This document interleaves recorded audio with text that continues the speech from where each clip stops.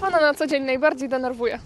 Żubr, bóbr, kurwa, łoś, lis, wilk, kuna, koń. Wydra, ryjówka, zając to są zwierzęta, które żyją w Polsce. Taka sytuacja. Reinkarnacja.